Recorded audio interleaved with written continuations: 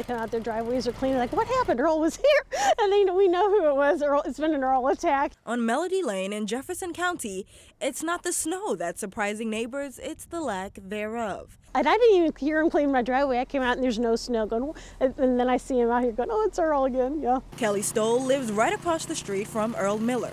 She says Earl and his bright red snowblower have been confronting this winter's wintry mix head on. I think he could go all the way around the subdivision if he could. Just just take a snowblower around the neighborhood and clean everybody's house and your driveway. It's not an easy task. It takes a lot of focus, snow in your face, and a little elbow grease.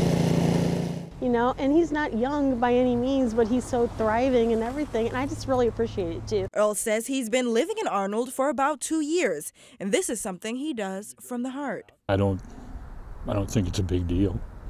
It's just something you do. Sunday morning, Arnold got about three inches of snow, making this winter the most he's cleared in a long, long time. We'll probably get hit one more time. I hope this is it. I think everybody's about tired of it. And uh, I don't mind. I mean, for me, it could snow all the time.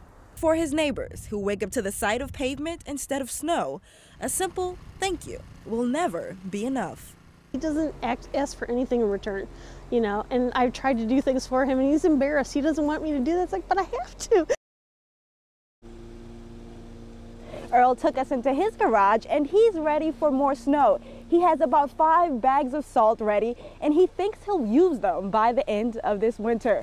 And I'm hoping he won't. Reporting live in Jefferson County, Jasmine Payute, 5 on your side. I think we all wish we had a neighbor like Earl. Jasmine, be careful on the ice. Get home safe. Thank you very much.